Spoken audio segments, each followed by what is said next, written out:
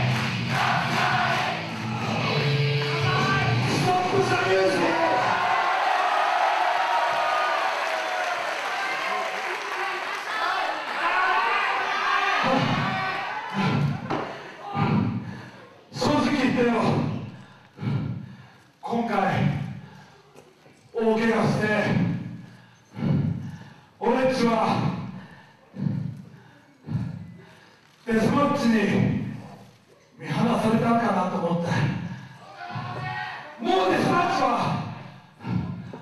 葛西潤を必要してないのだろう